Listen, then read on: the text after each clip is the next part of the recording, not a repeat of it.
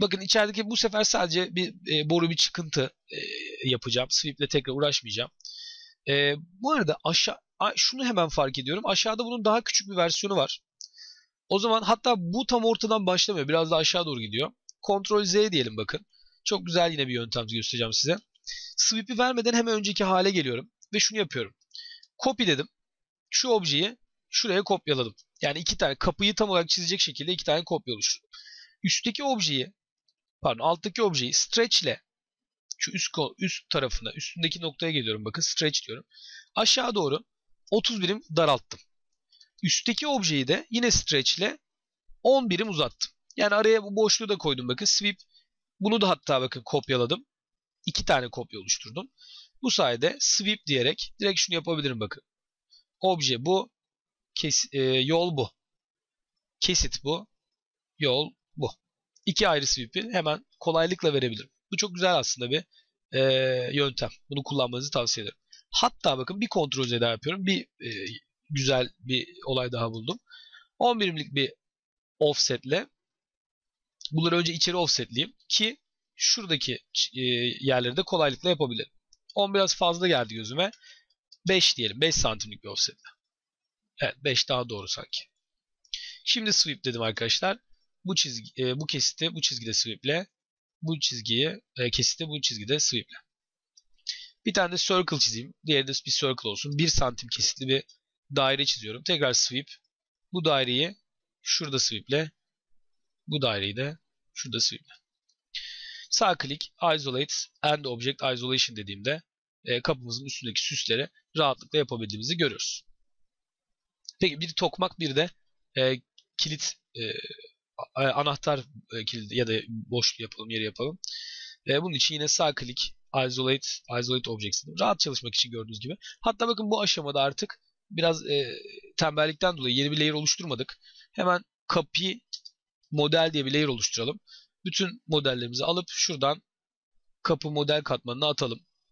Rengini de e, True Color'a geleyim. Biraz şöyle şöyle bir renk yapalım. Peki e, gördüğünüz gibi kapıyı da ayrı bir renk yapmış oldum. Bunun dışındaki bütün katmanları gizlemek isterseniz yine bakın Shift ile hepsini seçebilirsiniz. Ctrl ile kapıyı seçimden çıkarıp direkt Hide diyebilirsiniz. Kapıyı da aktif katman yapayım.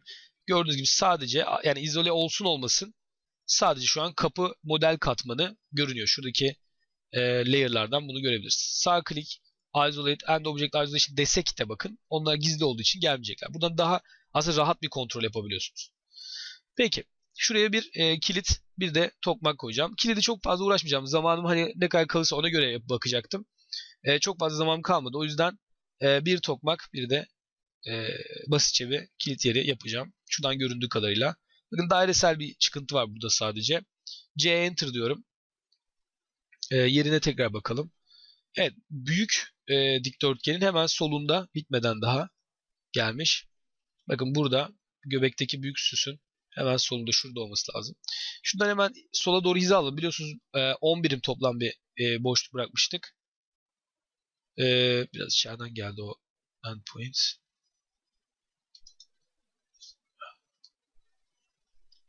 DI enter. Ha, e, tabii bunun toplam genişliği 2 olduğu için toplam bu arada 8 birimlik bir mesafe var. E, pardon. C enter dedim tekrar. 8 birimse tam yarıya gelmek için 4 birimlik bir e, boşluk bırakıyorum arkadaşlar e, ee, 1.5 birimlik bir yani 1.5 santimlik bir yarı çapta bir yuvarlak çiziyorum. İsterseniz bunu 2 yapalım. Bakın direkt yine kenarından değiştirebiliyorsunuz kolaylıkla. Ee, buraya extrude vermek için e, x, t, enter diyorum arkadaşlar. Bu objeye extrude ver. Bunu yaparken bakın çıkıntıyı oluşturuyorum. Fakat atıyorum açılı bir şekilde gelmesini istiyorum. Yani e, çünkü burada aslında çok hafif bir şekilde görülebiliyor belki. Yani belki görülmüyor. Çok da aslında şeydi. Benim aklımdaki şekilden de biraz gidiyorum. Şu içeri doğru hafif bir taper var. Yani bir e, yarı çapı düşüyor dairenin büyüdükçe diye düşünüyorum. E, toplam mesela diyelim ki 0.5 birimlik bir çıkıntı oluşturacağız. Fakat bu çıkıntının dediğim gibi gittikçe taperlanmasını istiyorum. Bakın e, extrude'u verdikten sonra şuradaki mavi grip noktasını yakalayarak şuradaki grip noktasını yakalayarak bir taper verebilirsiniz. Yani extrude çıktıkça biraz içeri doğru gitsin diyebilirsiniz. Veya ikinci bir yöntem Bence bu iki, ilk gösterdiğim daha iyi ama e, eskiden beri alışılmış yöntem bu değildir aslında. E, objeyi seçtim arkadaşlar. EXT Enter dedim. E, hemen aşağıda Taper Angle diye bir seçenek görüyorum. Tıkladım buraya veya T Enter dedim. E, kaç derecelik bir açıyla gelmek istiyorsun diyor aşağı doğru. E, burada bakın açıyı gözünüzde de belirleyebiliyorsunuz. Veya ben kendim yazacağım. 30 enter diyorum. 30 birimlik bir açıyla gelmek istiyorum. Kaç santim gelmek istiyorsun? Extrude'u kaç santim vermek istiyorsun diyor. Nokta 5 enter diyorum. Gördüğünüz gibi orada extrude'lu bir çıkıntı yapabiliyorum bu sayede. Tam ortası, yani tam ortasının biraz altına da şey yapacağım. Bir silindir e, çizeceğim. O da sanki uzaktan baktığımızda bizim e, anahtar kısmımız, anahtarı soktuğumuz kısım gibi gözüksün diye şöyle bir çıkıntı yaptım. Bu kadar. Bunun tabii ki malzemesini farklı vereceğiz. Yani burada daha iyi anlaşılması için. Aynı buradaki gibi. Beyaz üstüne mesela sarı verilmiş bakın. Altın rengi. Biz de böyle bir şey verebiliriz. Peki son olarak tokmağımızı yapalım arkadaşlar. Şimdi tokmak için aslında çok bariz bir revolve objesi bu. Revolve döner olarak 360 derecede para, e, simetrik olan objelere verdiğimiz e, komut genellikle. E, bunun için şöyle bir e, çizim yapıyorum. Yine front görünüşe geçelim. Front görünüşte şöyle bir çizim yapıyorum arkadaşlar bakın. Ee, hatta fronta değil arkadaşlar. Right görünüşe geçiyorum. Yani tam olarak kapıya sağdan bakıyorum. Görünüşümü de wireframe'e çeviriyorum. Yani aslında gördüğünüz gibi bakın soldaki şey burası. Yani soldaki göbek çıkıntısı olan yer şurası. Yani sağ değil sola doğru bakıyor kapı şu an. Ona dikkat edin. E, şurası da bakın anahtar çıkıntım. Şurada gördüğünüz alan anahtar çıkıntım. Buna biraz oranlayarak yapacağım. O yüzden buradan bakmak istedim. E, ve polyline komutunu alıyorum. Şu an ne hangi yüzde çizim yaptığım çok bir önemi yok. Taşıyacağım sonradan zaten. Sadece şu arkadaki çizimi bir referans olarak almak istiyorum şu an. Peki şöyle bir yere bir çizimle başlıyorum. Bakın şu çıkıntı nokta 5'ti. Biz biraz daha geniş bir çıkıntı yapalım. Veya nokta 5 ile başlasın. Ee, bunun içinden bir revolve çıkarabiliriz hatta. O zaman şöyle yapalım. Copy ile bu objeyi biraz yukarı kopyalayalım. 5 birim. Ee, Polyline'la şu objenin iç kısmından bir sola doğru bir çıkıntı yapıyorum. Ee, bir birim bir çıkıntı yaptım. Ee, yukarı doğru veya biraz açılı bir şekilde F8 ortoyla. Ee, bu arada eğer isterseniz yine zor, görmekte zorlanırsak şu iki objeyi seçip sağ klik isolate, isolate objects diyebiliriz. Yani sadece tokmağın olacağı yeri görebiliriz. Bu tokmağın e, yuva kısmı, oturacağı kısım. Şimdi çıkıntısını yapacağım. Tekrar PL enter dedim. Buradan devam ediyorum çizmeye. Polar e, koordinatı aktif hale getirdim. 30 derece olsun. Şöyle 30 derecede bir çıkıntı yapacağım. 1.5 birim. Ve ileri doğru bir, bir buçuk birim daha gideceğim. Aşağı doğru da tam olarak şunun hizasında bitirebilirim aslında. Tamam bakın kesiti bir şekilde oluşturmuş oldum. J enter'dı. Köşeleri yine her zamanki gibi F enter, R enter filtlayacağım arkadaşlar. E, iki birim filtlasam mesela bakalım. İki birime izin vermeyecektir. Çok büyükmüş. E, bir birim filtlasam diyorum. Evet bir buçuktu çünkü şuranın uzunluğu. Doğru şimdi hatırladım. E, nokta 5 birimde şurayı filtliyorum arkadaşlar. Şurayı filtliyorum. Burada gerçi yine çok fazla görünmeyecek ama. E, gördüğünüz gibi objeyi tıklayarak seçebiliyorum artık. Seçtim objemi ve e, rev enter dedim. Yani revolve komutuna girdim. Şu eksende f enter derseniz pa, e, affedersiniz pardon. E, başlama açısını soruyor bize. 0 enter diyorum. Bitiş açısı da 360 enter diyorum ve bakın objeyi şöyle conceptual bakalım. Objeyi bakın döndürerek 360 derece bir hacim veriyor. Bu objeyi de alıp m enter'la şu merkeze, bakın şu arkadaki merkeze arkadaki merkeze şuradaki merkeze oturt diyerek yerine yerleştiriyorum. Direkt orada da çizim yapabilirdik. Biz, benim biraz e, UCS ile ön yüzeyi yakaladığım için e, biraz çizimim kaydı. Sağ klik Isolate and Object Isolation dediğimde direkt olarak tokmak da burada yerini alıyor. Tabi burayı biraz daha yukarı alabiliriz belki. Ee,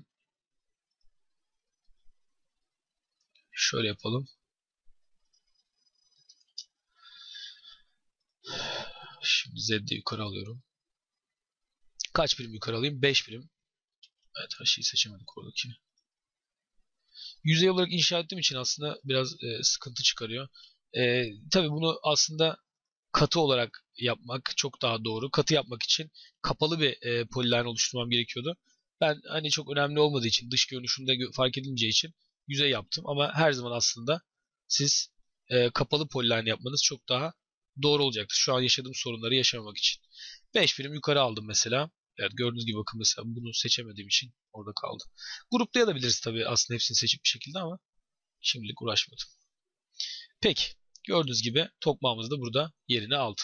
Biraz daha büyük büyütebiliriz. Büyütmek için yine seçiyorum hepsini arkadaşlar. SC Enter Scale diyorum. Şu merkezden diyorum. Bakın dip merkezi seçmem lazım.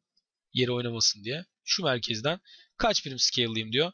Ee, bir buçuk birim scale'a yani bir buçuk katına çıkar dediğimde evet gördüğünüz gibi daha oranlı bir şekil aldı.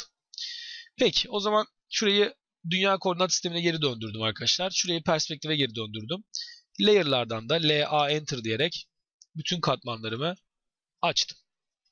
Peki bakalım şöyle dışarıdan tekrar. Gördüğünüz gibi bir kapımı ve bir penceremi oluşturdum.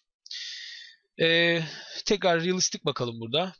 Evet gördüğünüz gibi aslında e, bu şekilde görünecekler gibi düşünebilirsiniz. Malzemeleri verince tabii çok daha realistik olacak. Aslında realistik şimdilik çok da realistik yani gerçekçi değil. Peki e, bugünkü dersimiz de bu kadar arkadaşlar. E, şöyle bir şey söyleyeyim. Bundan sonraki derste pencereleri ve kapıları yerine kopyalamış olarak geleceğim. Vakit kaybetmek için hepsini tek tek anlatmıyorum. Lütfen siz de bu arada e, gerekli pencereleri aynı yöntemle yerlerine yerleştirin. Aynı şekilde kapıları da. Tabii kapı bu kadar ayrıntılı olmak zorunda değil. Balkon kapıları çok daha sade olabilir e, bence. Siz uğraşmayın. Ben de öyle yapacağım çünkü. E, dinlediğiniz için teşekkür ederim arkadaşlar. Klasik hatırlatmamı yaparak dersi bitireyim. E, eğer videoyu yararlı bulduysanız lütfen like butonuna basarak e, videomuzu beğenin. Ee, kanalımıza yazılarak yeni videolardan haberdar olmak isterseniz subscribe butonuna basarak bunu yapabilirsiniz. Yakınkampüs.com sitesinde de birçok e, eğitim videosu bulabil bulabileceğiniz bir sitedir. Ziyaret etmenizi tavsiye ederim. E, dinlediğiniz için teşekkürler arkadaşlar. Bir sonraki derste görüşmek üzere.